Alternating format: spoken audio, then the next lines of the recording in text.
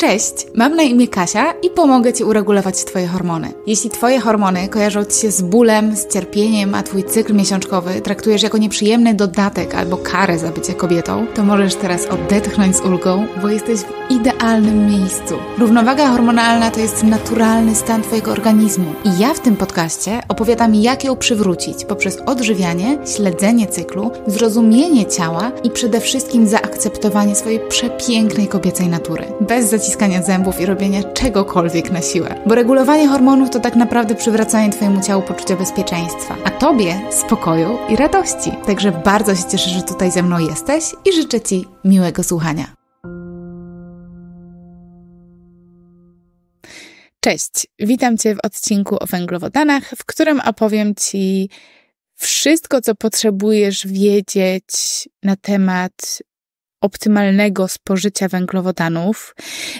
Powiem Ci, dlaczego jestem zwolenniczką bazowania na węglowodanach, nie na tłuszczach, jako źródle energii, jakie węglowodany spożywać i tutaj taki mały sneak peek, taki mały um, nie, nie, nie wiem, jakiego słowa użyć po polsku. Mały spoiler, o, to nie, dobra, to też nie po polsku, ale um, niekoniecznie będą to węglowodany pod tytułem ciemny chleb zawsze, ciemne pieczywo, ciemne, grube kasze i tak dalej. I powiem Ci też dlaczego. Powiem Ci taką jedną, jedną, jedną z najważniejszych rzeczy, którą potrzebujesz wiedzieć o węglach w kontekście doboru węglów do Ciebie, jakby źródeł węglowodanów. E, I opowiem Ci, jakie ilości są optymalne, a też co zrobić, jeśli na przykład jesteś na low carbie i chciałabyś spożywać więcej węglowodanów, jednocześnie czując się fantastycznie. E, bo myślę, że warto w takich przypadkach dążyć do optymalnego poziomu węglowodanów. Zwykle u kobiet y, nie będzie to optymalne takie poziomy bardzo niskie, jakie często czy to na low carbach, czy na keto się promuje. I opowiem Ci też właśnie dlaczego, y, co i jak. Także wszystko, co potrzebujesz wiedzieć o węglowodanach w tym podcaście. I zaczynamy sobie od właśnie um, węglowodany, a tłuszcze jako źródło energii. Są takie dwa obozy, widzę na Instagramie, na Facebookach, YouTubach i innych takich. E, I oba te obozy krzyczą w niebogłosy, e, Właśnie, musisz jeść tyle i tyle węglowodanów, bo to jest koniecznie właśnie najlepsze źródło energii. Drugi obóz, e, absolutnie nie powinniśmy jeść węglowodanów, w ogóle one nie są stworzone dla człowieka, bo człowiek może, musi czerpać energię z tłuszczów. I mm, w ogóle też swoją drogą trochę, może słyszysz, mam katar i, i jestem przeziębiona. E, także mam nadzieję, że mi wybaczysz. E, więc e, może też w sumie zauważam, że bardziej krzyczy to środowisko tłuszczowe, nie? Tak, tak, e, takie mam odczucia, ja osobiście, że jednak jakby jak ktoś poleca węglowodany w ogóle jeść, no to raczej nie jest to w sposób krzyczący. W sposób właśnie krzyczący bardziej e, ja odbieram jako ten tłuszczowy, że, że tam ten przekaz jest taki mocny, że przecież tak to jest, bo człowiek nie jest stworzony do jedzenia węglowodanów i w ogóle one robią na wszystko złe, co jest co jest możliwe. I e, w ogóle po, po, co węglowodany nam są? E, też takie pytanie dostałam, przygotowując się do tego odcinka. Zadałam Wam pytanie, jakby co chcecie wiedzieć, co chcecie wiedzieć w tym odcinku. I było pytanie, co nam węglowodany dają poza, czy węglowodany dają coś innego poza, jakby nie mówię tutaj o a, minerałach, a nie witaminach, poza szybkimi, e, szybkimi skokami energii. I uważam, że to jest świetne pytanie. I świetne nie o tyle, że jakby będzie odpowiedź na nie jakaś odkrywcza, tylko świetne, żeby zobaczyć, e, jak my patrzymy na węglowodany, w sensie jak nam zepsuło, moim zdaniem trochę zepsuł ten mainstream, to, że teraz są promowane bardzo low carb, niskowęglowodanowe diety, jak nam zepsuł patrzenie na węglowodany, że pfu, węglowodany, jeszcze proste węglowodany, to jest nic innego jak pusta energia. Hej, ale twoje ciało potrzebuje energii Twoje ciało potrzebuje energii, Twoje ciało potrzebuje kalorii. Nawet jeśli coś jest tylko i wyłącznie kaloriami, nawet jeśli to były czyste węglowodany, czysta sacharoza, e, czyli glukoza, fruktoza w długich łańcuchach, sacharoza, czyli cukier stołowy, e, czy czysta glukoza już, swoją drogą może to być na przykład glukoza wypijana w krzywej cukrowej, robionej, w płynie, czyli najłatwiej przyswajalne źródło energii, jakie w ogóle może być, to, to hej, po, potrzebujemy tej energii, nie? I, I co nam węglowodany dają poza energią, dają nam głównie energię i każda komórka potrzebuje pracy, do, do pracy energii właśnie. I to jest ważne, to jest to jest najważniejsza rzecz dla naszego organizmu, e, bo jeśli twoje komórki nie będą miały energii do pracy, nie będą miały łatwo tą energię otrzymać z tego, co jesz i łatwo pracować, to ta praca będzie utrudniona i to będzie przekładało się na utrudnioną pracę całych narządów, całych systemów, w tym układu hormonalnego. I ba, głównym celem e, też tego, żeby przyjmować węglowodany, jest dostarczenie energii do układów, do narządów, które potrzebują węglowodanów właśnie jako ich głównego źródła, czyli które funkcjonują na węglowodanach najbardziej optymalnie. I to jest przede wszystkim centralny układ nerwowy, to są nerki, to są mięśnie, to jest mózg, bo glukoza w tych wszystkich rzeczach, które wymieniłam, ona jest tam, odgrywa podstawową rolę i ona tam jest preferowanym źródłem energii, a czasem, tak jak w przypadku na przykład mózgu, jest jedynym źródłem energii, które jest w stanie nasz mózg wykorzystać. I to, to coś mówi, nie? Um, poza tym, w momencie, jak nie jesz, to potrzebujesz mieć wtedy jakąś ilość węglowodanów właśnie zgromadzoną w Twoich mięśniach czy w Twojej wątrobie, jako coś, co może się uwalniać wtedy stopniowo do krwiobiegu, e, żeby podtrzymywać stabilny poziom cukru we krwi. I to też jest bardzo ważne. A optymalna ilość zgromadzonych węglowodanów w, w mięśniach, w wątrobie, to jest optymalna aktywacja hormonów tarczycy na postach przerywanych, czyli gdy nie jemy dużo. E, są piękne badania pokazujące, e, tutaj podlinkuję Ci mm, jedne z wielu, e, jak podwyższa się TSH, obniża się FT3, obniża się FT4, jeżeli mamy bardzo długie przerwy między posiłkami. To samo dzieje się właśnie w momencie, gdy mm, jemy bardzo niskowęglowodanowo, czyli mamy osłabioną aktywację hormonów tarczycy. Więc potrzebujemy mieć zgromadzone węglowodany, które zużywam na bieżąco pomiędzy posiłkami, bo jak zjesz kanapkę rano, to ona ci nie starczy na cały dzień. Potrzebuje twoje ciało z czegoś mieć jakieś zapasy w sobie przez cały czas. Częściowo ta kanapka uzupełni te zapasy, jeśli ona będzie z normalnym chlebem zawierającym węglowodany, a częściowo te zapasy będą e, właśnie mm, uwalniane na bieżąco właśnie z Twoich mięśni, z Twojej wątroby, tak? I, I potrzebujesz je regenerować, żeby utrzymywać stabilny poziom cukru we krwi. A żeby utrzymywać stabilny poziom cukru we krwi, y, to przekłada się na to, żebyś ty na przykład nie zemdlała, na przykład nie zasłabła, żeby twój mózg właśnie funkcjonował prawidłowo, żeby twoje mm, jelita mogły funkcjonować prawidłowo, twój żołądek, twoje jajniki, tak, y, twoja tarczyca, to wszystko potrzebuje stabilnego poziomu cukru we krwi. Więc węglowodany to jest tylko energia, czy aż energia? Ja bym powiedziała, że aż energia. I w tym pytaniu to w ogóle turbo inspirujące pytanie dla mnie było. E, właśnie, czy, czy one nam dają coś poza szybkimi skokami energii? No, nie muszą to być szybkie skoki energii to jeśli sparujemy sobie odpowiednio te węglowodany, jeśli dobrze zbilansujemy posiłek, zadbamy o źródło tłuszczu, o źródło białka konkretnego, pełnowartościowego, dodamy jakąś tam ilość błonnika, która aktualnie dla nas jest dobra, nie mówię tutaj o nie wiadomo ile tych warzyw czy owoców, ale jakaś ilość, to wtedy y, one są fantastycznie właśnie wykorzystywane jako źródło energii, jako coś, co jest takie prometaboliczne, co na, napędza ten nasz metabolizm, co sprawia, że optymalnie pracuje nasze ciało. I to jest piękne. Natomiast potrzebujemy do tego zbalansowanego posiłku, tak? Potrzebujemy odpowiednich proporcji. I to jest aż tyle. A czy zapewnia nam coś, jakby wracając do tego cudownego pytania, za które dziękuję, jeśli zadałaś to pytanie, to dziękuję Ci za nie. E, czy coś nam zapewnia poza, e, poza energią, nie licząc minerałów i witamin?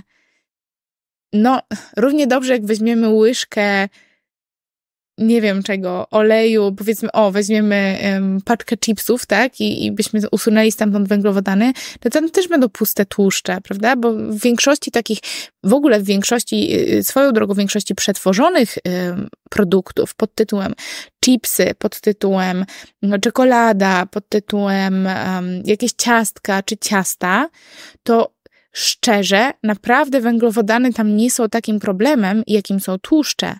Abstrahując od tego, że no tam nie będzie za dużo witamin, minerałów e, i tam nie będzie za dużo um, właśnie e, w ogóle od, odżywczości e, w tych produktach, to same węglowodany, one są w takich produktach naprawdę bardzo stabilne.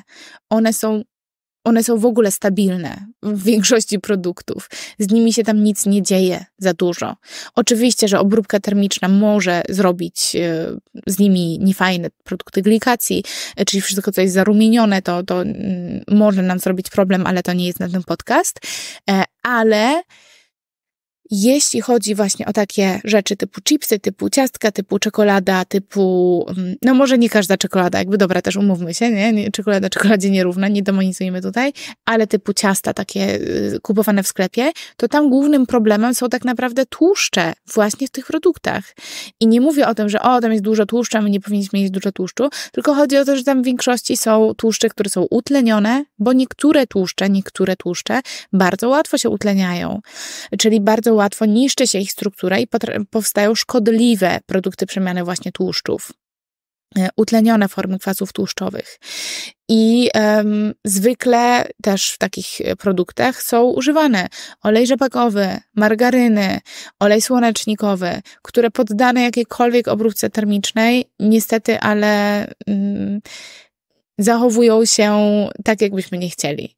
Powstają szkodliwe formy kwasów tłuszczowych nienasyconych właśnie w tych produktach, które są ich pełne. E, między innymi tłuszcze trans, tak, ale też dużo więcej. E, I jakby w tych produktach tak często się mówi, o to w ogóle tam jest tyle węglowodanów w tych chipsach, to jest takie złe, albo tyle węglowodanów w tym cieście, e, to jest takie złe. Ostatnio też ja byłam sama na, na um, imprezie rodzinnej, um, to było to były jakieś urodziny. E, I, I tam ktoś właśnie, e, ktoś robił. Um, a, dobra, już wiem. E, taka dziewczyna robiła bezalkoholowe mojito. I spytała się mnie, czy chce. Ja mówię, no jasne, że chcę, jasne, jasne, dawaj. No i to bezalkoholowe mojito tam zostało mi podane, było całkiem spoko.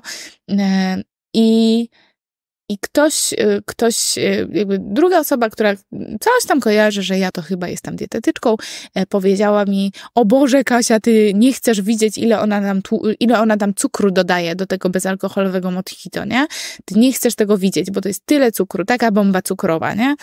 E, no i ja sobie wtedy pomyślałam, że w sumie, w sumie spoko, naprawdę. Ja się nie boję takich rzeczy, w sensie nie boję się tego cukru e, w tych produktach, w ogóle jakby mm, nie zachęcam Ciebie do dzielenia, jest podcast też tutaj jeden z Olą Skwirut o mojej drodze dotyczącej właśnie psychodietetyki i relacji z jedzeniem i jak wiesz, ja nie zachęcam do tego, żeby dzielić jedzenie na zdrowe, niezdrowe, dozwolone, niedozwolone, bać się jedzenia, bo nie da się jeść w 100% po prostu organicznie, idealnie i tak dalej. E, I też czasem jem chipsy, i też czasem jem ciasta kupione w Biedronce i tak dalej. E, spoko totalnie. Natomiast właśnie pomyślałam sobie wtedy, cukier w ogóle, co mi może zrobić cukier, nie? Po pierwsze, to w ogóle cokolwiek by było w tym mojito, nie wiadomo co, to to, to i tak jest jeden posiłek, nie? Więc jakby ja, jak ja wychodzę gdzieś na jakąś imprezę rodzinną, to e, czy jakoś, jakieś inne, nie wiem, czy, czy jemy coś na mieście, e, co w sumie ostatnio raczej rzadko się zdarza, ale jest to i tak taka częstotliwość, że ja po prostu jem to, co e, czuję, że mam ochotę zjeść, e, nie w stylu, o Boże, teraz jem wszystko, tylko w stylu takie, że okej, okay, na co mam ochotę i jakby po czym będę się czuć dobrze, nie? E, ale po drugie, to jeśli już czasem przychodzą mi jakieś myśli dotyczące trochę bania się tego jedzenia, że ja nie mogę, co tam jest, nie, nie chcę tego zjeść, to zdecydowanie nie są to myśli dotyczące e, właśnie węglowodanów, e, bo w tym bezalkoholowym mojito e, był bodajże Sprite, sok z limonki, z cytryny, mięta e, i jeszcze do tego cukier trzcinowy. Nie? No to jest dużo cukru. E, jakby nie, prawdopodobnie, w sensie ja robiłam sobie też w domu kiedyś tam bezalkoholowe mojito. E, nie było na bazie Sprite'a, było na bazie wody. Był tam cukier trzcinowy. I, I prawdopodobnie dodałam mniej tego cukru niż tam było w tym, w tym akurat, nie? Ale, ale właśnie tam nie bałam się tego cukru. E, jeśli już, e, mam wrażenie właśnie to też na tym przykładzie, że jest tak zakodowane mocno w nas wszystkich, nie? Że to jest takie, o Boże, cukier, E, w tych wszystkich produktach. No i jasne, jakbyśmy się odżywiali tylko i wyłącznie tak na zewnątrz, um, czyli a tutaj zamówić coś, a tutaj na mieście, a tu u kogoś, a tu y, serniczek, a tu coś tam, no to byłoby tego cukru łącznie prawdopodobnie za dużo. Ale y, co z tłuszczem? Myślę, że dużo większą krzywdę wyrządziłby nam właśnie krzywdę, potencjalnie krzywdę, wyrządziłby nam właśnie e, te ogromne ilości tłuszczu, e, po pierwsze ilości, po drugie właśnie, bo jeśli mamy dużo cukru, dużo tłuszczu, to, to wtedy moim zdaniem jest taka najbardziej newralgiczna sytuacja, a po drugie problem myślę, że zrobiłby nam przede wszystkim e, właśnie jakby rodzaj tego tłuszczu, czyli to, że no jednak obserwuję, że mało kto używa stabilnych tłuszczów w swojej kuchni. Tłuszczów pod tytułem masło klarowane, pod tytułem smalec, pod tytułem oliwa z oliwek. Która i tak nie jest do wysokich temperatur, nie? W większości kuchni, jakie ja mam okazję zobaczyć, czy też nawet jak ostatnio zamawialiśmy pizzę u nas do domu i ja w tym momencie, będzie o tym odcinek, jestem na wykluczeniach, e, niestety, jeszcze przez jakiś czas, e, bardzo wielu produktów w związku z problemami skórnymi mojego synka, a ja karmię go piersią, więc e, dzwoniłam do pizzerii e, i mówię, poproszę pizzę bez sera i spytałam się, żeby się upewnić, e, z czego robicie ciasto konkretnie, bo ja chciałabym, jakby nie, nie mogę, tam powiedziałam, no mam bardzo silne alergie i, i że czy tam nie ma czasem masła, nie? I um, no i, i jakby dowiedziałam się, że e, jak tam pani spytała, hej, hej, na kuchni, co tam jest w tym cieście, e, to powiedziano jej, że no jest tylko mąka, drożdże, e, woda i olej, no i sól, nie? Więc olej, czyli nawet w niektórych pizzeriach jest y, dokładany olej zamiast oliwy do, do tego ciasta, nie? I to, to też nie jest dobrze. No ale dobra, tutaj się rozpędziłam w ogóle w drugą stronę. E, tak czy inaczej, wracamy sobie węglowodany versus tłuszcze. E, każdy ma plusy, minusy. Ja jestem zdecydowanie za węglowodanami jako źródło energii. Dlaczego? Dlatego, że w momencie, jak jesteśmy w problemach hormonalnych, to jest. Um, jesteśmy w stresie.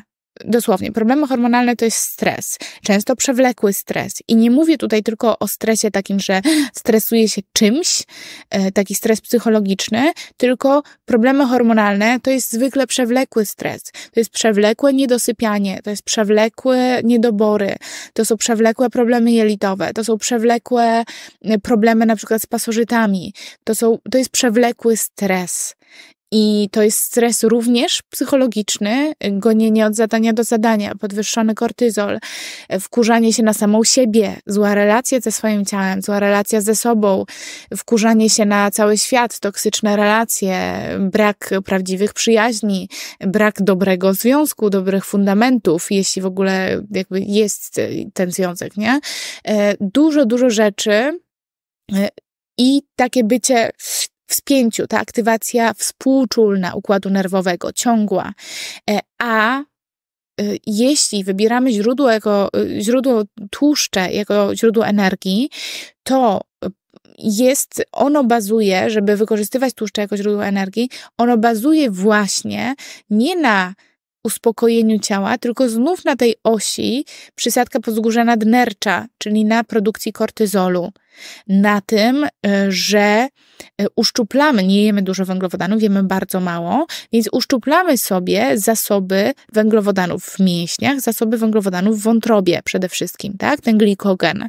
Więc wątroba nie aktywuje optymalnie hormonów tarczycy, Wątroba nie eliminuje optymalnie estrogenów i wątroba skupia się na produkcji węglowodanów, żeby utrzymać stabilny poziom cukru we krwi.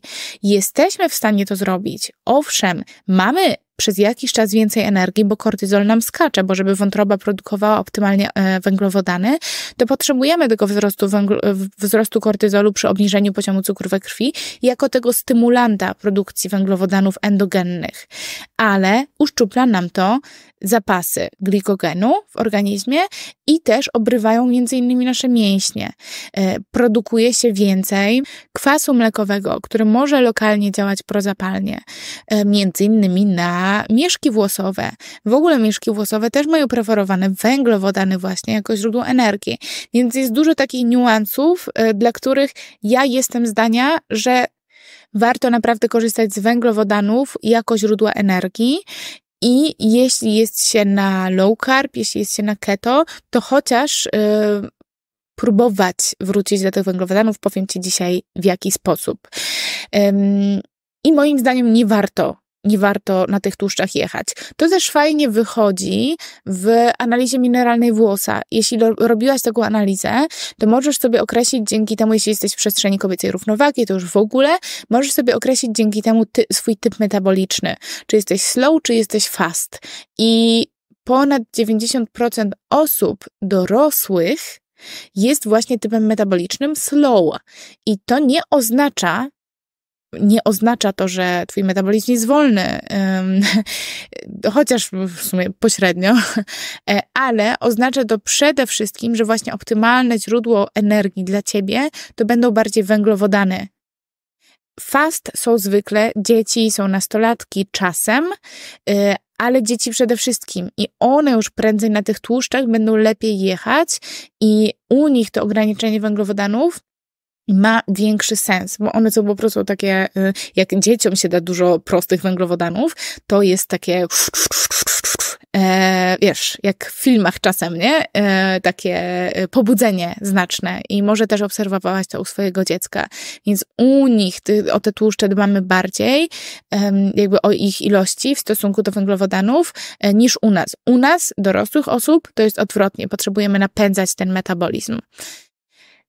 I e, właśnie, e, no nie chcemy sobie, ja jestem za tym też, żeby dieta e, to było coś, co właśnie odciąża nasz organizm w tym świecie, gdzie jesteśmy przebodźcowane, gdzie jesteśmy przestymulowane, gdzie jest stresu ogrom, gdzie mamy złą relację ze sobą, ze swoim ciałem często, gdzie jesteśmy bombardowane, to jedz, tego nie jedz, tamto jedz, tego nie jedz, e, żeby, żeby jakby już i tak jesteśmy w tych przewlekłych niedoborach, w tym przewlekłym zmęczeniu, no to hej, chociaż tą dietą sobie nie dobijajmy tego kortyzolu, tylko uspokójmy to ciało, nie? Dajmy sobie te węgle, które uspokoją nam ciało.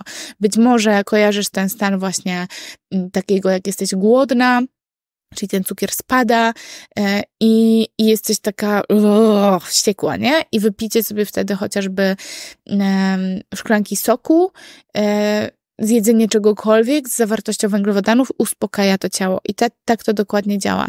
E, kiedyś przytoczyłam ten przykład też w filmiku na YouTubie i raz na jakiś czas tam sobie na YouTubie czytam komentarze i być może nawet słuchasz tego na YouTubie, e, no i patrzę na ten komentarz, no wiesz co, oczywiście, że tak, no ale jak jesteś, e, szkoda, że po takim wypiciu soku, jak jesteś taka hangry, to ci cukier skoczy, a potem szybko spadnie. No jasne, że tak, nie? To nie jest optymalne dla większości osób wypicie sobie szklanki soku. To jest tylko przykład.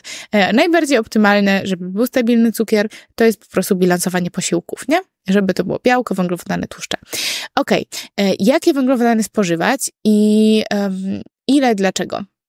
Jakie węglowodany e, i najważniejsza rzecz, jaką potrzebujesz wiedzieć w kontekście węglowodanów, to nie jest to, niekoniecznie jest to, że to muszą być węglowodany tylko ciemne, że to musi być tylko właśnie brązowy ryż, który swoją drogą akurat w brązowym ryżu mamy więcej arsenu niż w tym białym, nie? Właśnie w tych łupinkach.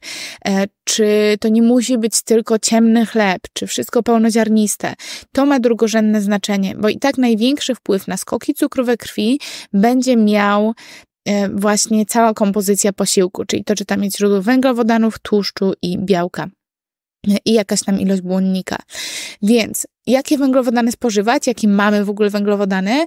Przygotowując się do tego odcinka też, z ciekawości wpisałam sobie właśnie rodzaje węglowodanów w Google e, i rozbawiło mnie, jak zobaczyłam pierwszy, bo to jakby na, na polskich Google'ach było e, i też przypomniało mi się, wow, takie faktycznie jest postrzeganie, nie? Nadal takie jest postrzeganie tych węglowodanów. Mamy węglowodany proste, złożone, proste to są, e, trafiłam na taką grafikę, łapka w dół tam była, proste węglowodany łapka w dół i tych nie jedz. To są e, soki, owoce, napoje słodzone, e, białe pieczywo, białe bułki, e, biały ryż. Te są złe, proste węglowodany i złożone węglowodany, czyli właśnie tam, nie wiem, to było właśnie brązowy ryż, grube kasze, były płatki owsiane, były właśnie ciemne pieczywo, w sensie grubo, z grubego przemiału ziarno, pieczywo i tak dalej, jakby te, tutaj była łapka w górę, takie jedz. No i no, nie do końca tak jest, nie? No bo um, e, od czego by tu zacząć? Um, rozbrójmy ten temat. Po pierwsze, właśnie na Twoją glikemię, na to, jak reagujesz na posiłek, będzie miał wpływ całość, nie? Kompozycja posiłku, ale też e, milion innych rzeczy.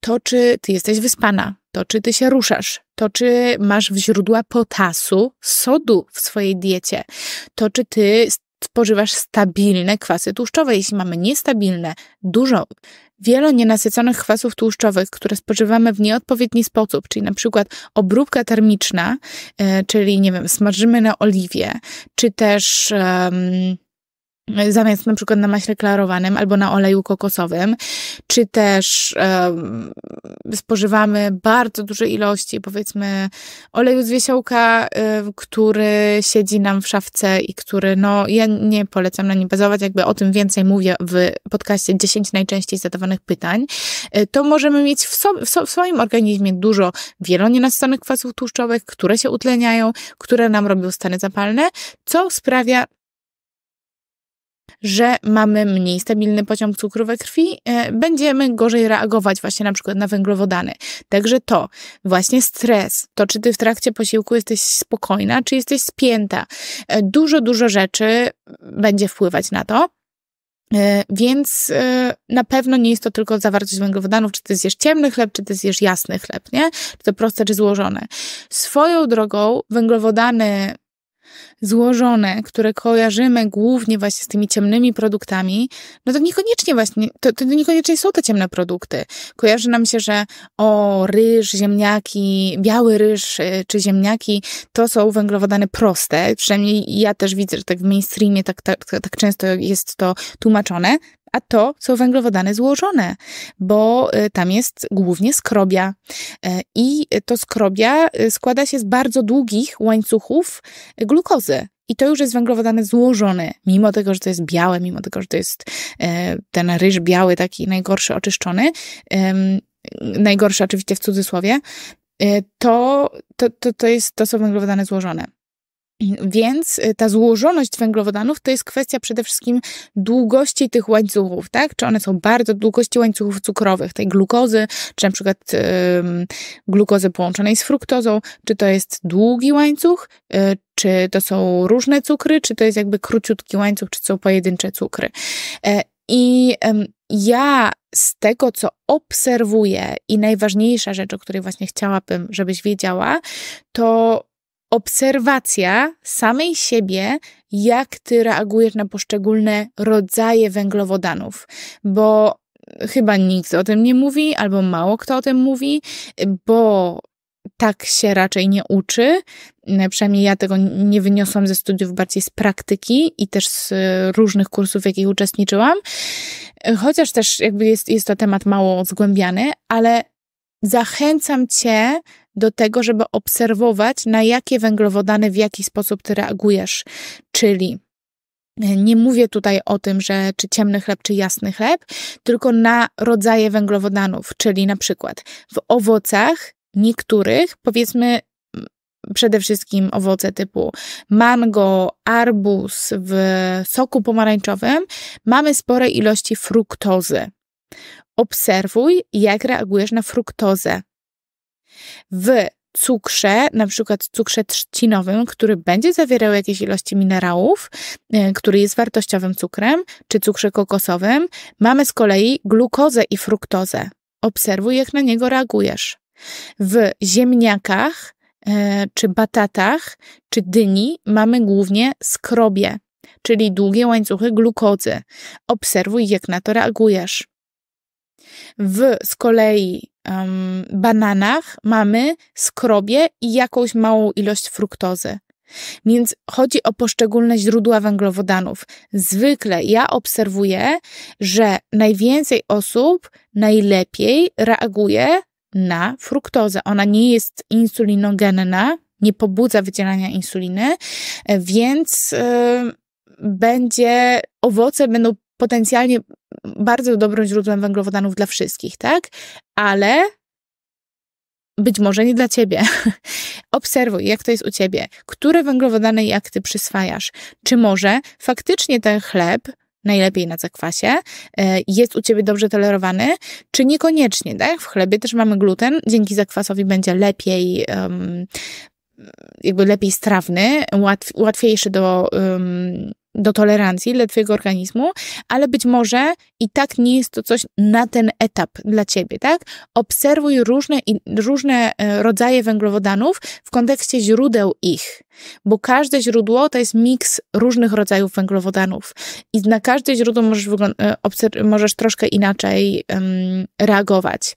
I ja wiem, że to może być troszkę zawód dla Ciebie też, bo może oczekiwałaś, jedz to, nie jedz tego ale ja nie znam ciebie. Nie wiem, na co ty będziesz reagować y, super świetnie, na co będziesz reagować trochę gorzej. Nie wiem, na jakim etapie jesteś z problemami hormonalnymi. Więc obserwuj, zachęcam cię do wyczulenia właśnie na to. E, plus też, e, jak, jak to obserwować w praktyce, to zakładając, że mamy zbilansowany posiłek, prawda? Czyli zakładając, że w posiłku masz jakieś tam źródło tłuszczu, masz konkret źródło białka, to um, wtedy po posiłku jakby bierzemy sobie te węglowodany, które tam, tam chcesz sobie wciąć, nie? Czyli powiedzmy, um, tak jak ja robiłam sobie teraz smoothie, e, którym jest... Um, banan, którym był banan, było kakao, e, był to w sumie koktajl nadnerczowy, bo wzięłam sobie e, mleko kokosowe, fajne źródło tłuszczu, e, kakao też jest super źródło tłuszczu, banan jako źródło węglowodanów, jest tam głównie skrobia, dodatkowo dałam sobie tam szczyptę soli jako źródło minerałów, źródło sodu, Banan super bogaty w potas, więc ja fantastycznie toleruję banany i właśnie jakby ten posiłek bardzo dobrze zbilansowany, było troszkę błonnika z tego banana, nie jakaś turbo duża ilość. Było właśnie kakao jako tłuszcz, mleko kokosowe jako tłuszcz. E, dodałam tam też kolagen jako źródło białka e, i e, był przepyszny. I ja takie smoothie y, toleruję świetnie. Mimo tego, że na przykład nie ruszałam się po wypiciu jego, mimo że to były płynne kalorie i o mój Boże, wysoki indeks glikemiczny, bo ten banan był jeszcze dojrzałym bananem, to ja czuję się potem fantastycznie. Natomiast był na przykład taki czas, że jeśli zamiast banana ja dałabym tam mango, czyli z kolei dużej ilości fruktozy, to mogłabym mieć zjazd energetyczny potem, mogłoby mi się chcieć spać, nie?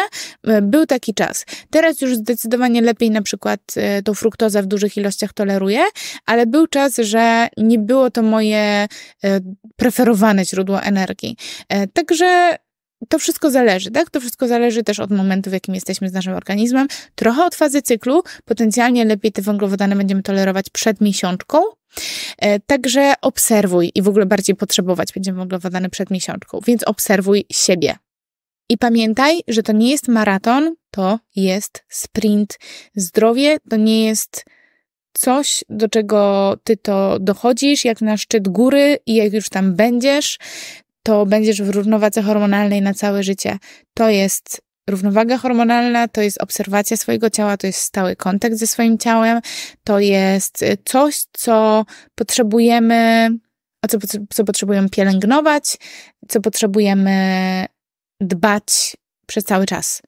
I Dlatego tym bardziej warto wyrabiać sobie od początku, niezależnie na jakim jesteś etapie, kontakt ze swoim ciałem i obserwację. Ok, ile węglowodanów jeść?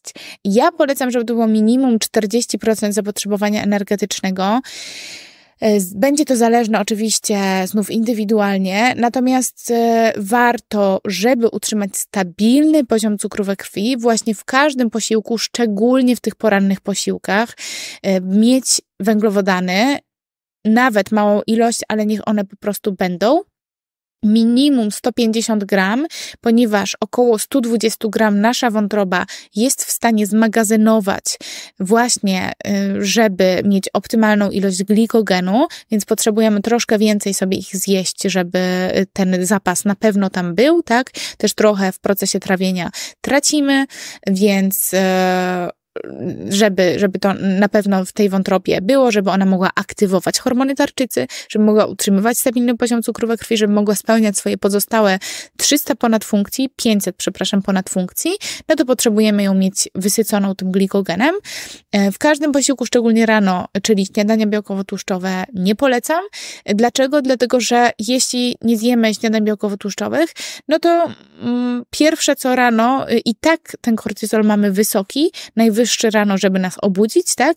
Nie chcemy go sobie jeszcze podbijać właśnie tym, że olejemy węglowodany rano. Chcemy mieć spokój. E, I znów e, Jasne, że na dietach low carb, na dietach właśnie e, postprzerywane i tak dalej, może się okazać właśnie, że tą energię mamy, wow, ja się tak świetnie czuję, mam tyle energii, no to niestety zwykle jest do czasu i e, niestety, ale to znów bazuje właśnie na tych mechanizmach stresowych, nie?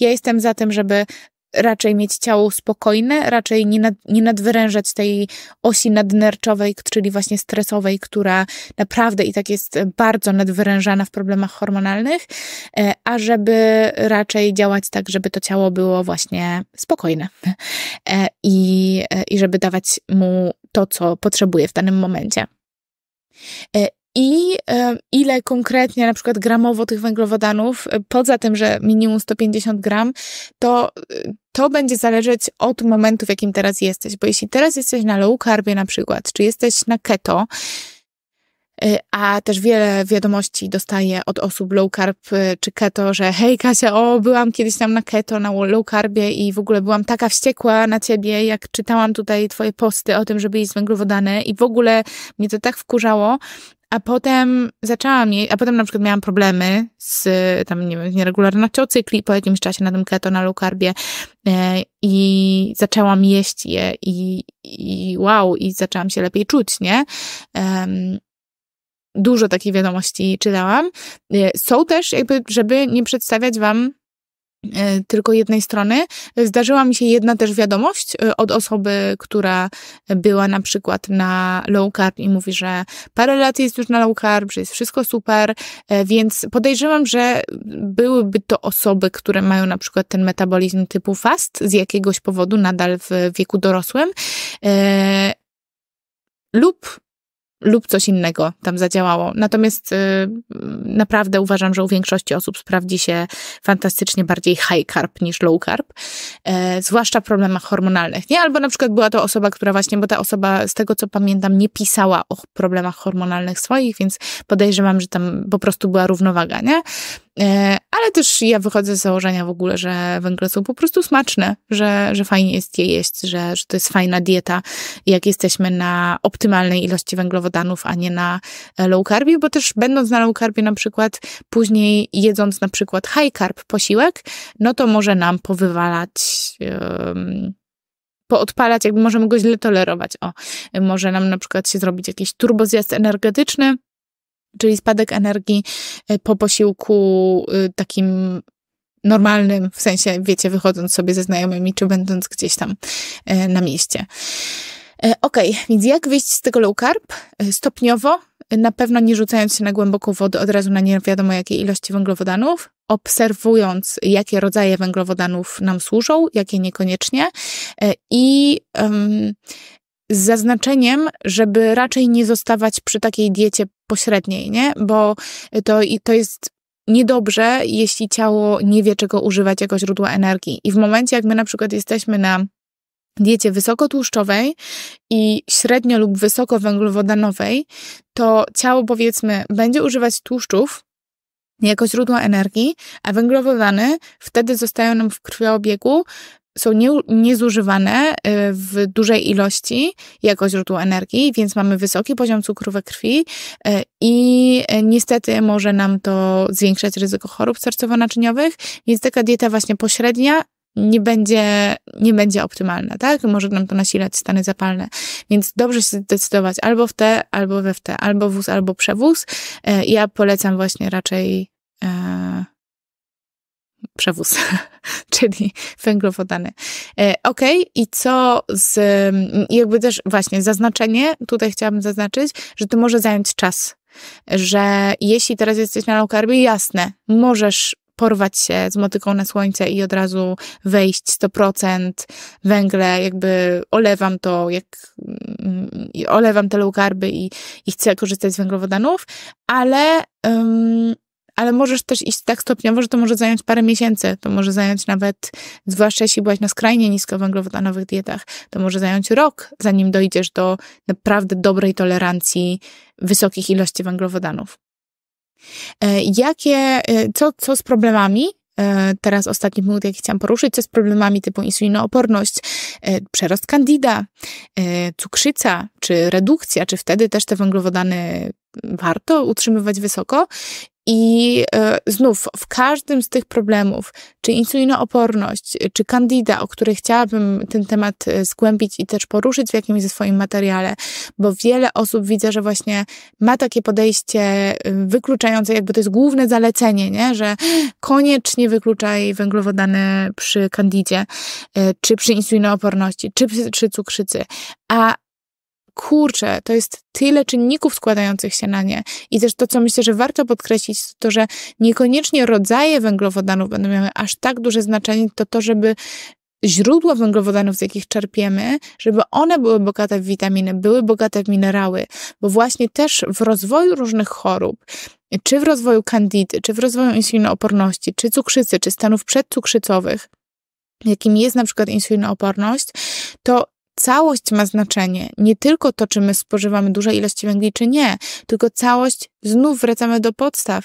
Rytm dobowy, stres, relacje, wysycenie witaminami, wysycenie minerałami, optymalna gospodarka miedziowo-żelazowa. Ja chyba w ogóle od teraz będę używać słowa miedziowo-żelazowa, e, bo żeby tak, tak podkreślać, jak bardzo też ta miedź jest ważna. E, poziom retinolu w naszym organizmie, e, relacja ze sobą, relacja z jedzeniem.